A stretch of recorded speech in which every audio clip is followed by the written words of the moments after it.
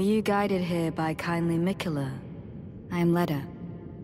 And like you, I was guided by faith along his honorable path.